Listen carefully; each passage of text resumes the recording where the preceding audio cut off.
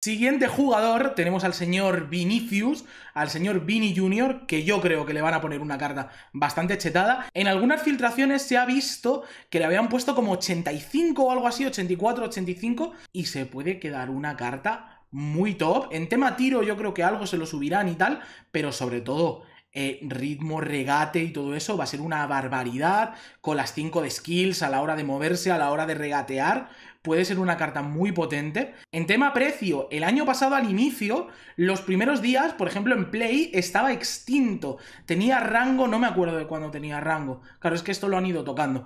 Eh, imagino que 30.000 o así, algo más de 30.000, la media de precio por ahí aparece, 32 quizás 35.000 monedas o algo así tenía de rango, estaba extinto, ¿vale? Siendo un media 80, eso hay que tenerlo claro. Luego, obviamente, fue bajando, bajando, bajando, eh, pues este Vini puede estar rozando o superando las 100.000 monedas, ¿eh?